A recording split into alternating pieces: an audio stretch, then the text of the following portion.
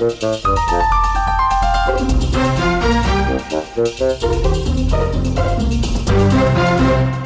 bolsas europeas han comenzado la sesión con leves subidas del 0,20% y el IBEX 35 ha despertado plano. Indecisión, por tanto, ante el anuncio de tipos de la Reserva Federal estadounidense que conoceremos, eso sí, con las bolsas europeas ya cerradas hacia las 8 de la tarde, hora española. Media hora después, su presidente, Ben Bernanke, ofrecerá su tradicional rueda de prensa. ¿Y qué decidirá la Fed? Ya a estas alturas prácticamente nadie espera que la Fed reduzca el ritmo de su programa de compra de bonos. Y en cuanto a los tipos, José Martínez Campuzano, estratega de Citi en España, recuerda una entrevista a Bernanke en diciembre de 2010 en la que se mostraba convencido de controlar el momento de subida de tipos. Estoy convencido, afirma ahora Campuzano, de que ahora el presidente de la FED tiene más dudas en cuanto al margen de maniobra para seguir manteniendo la política monetaria sin cambios. En España estaremos pendientes de las conclusiones del informe del Fondo Monetario Internacional que presenta hoy a las once y media en la sede del Banco de España y de los mercados asiáticos destacamos la subida del 1,83%